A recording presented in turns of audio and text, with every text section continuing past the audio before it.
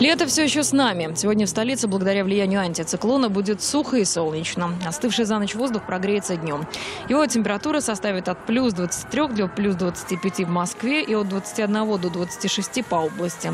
Скорость восточного ветра 2,7 метров в секунду. Атмосферное давление останется на отметке 757 миллиметров ртутного столба, что выше нормы.